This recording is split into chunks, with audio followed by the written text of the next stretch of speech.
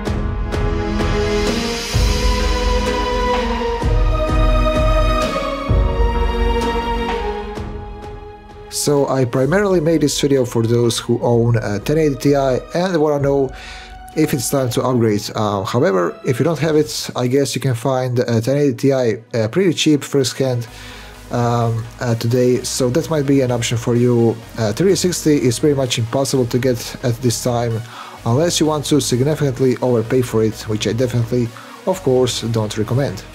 So uh, hopefully this video clears some things for you and helps you make the final decision. Uh, that's it for this video. Uh, thank you guys so much for watching. Like, subscribe, and see you guys in the next one. Stay safe.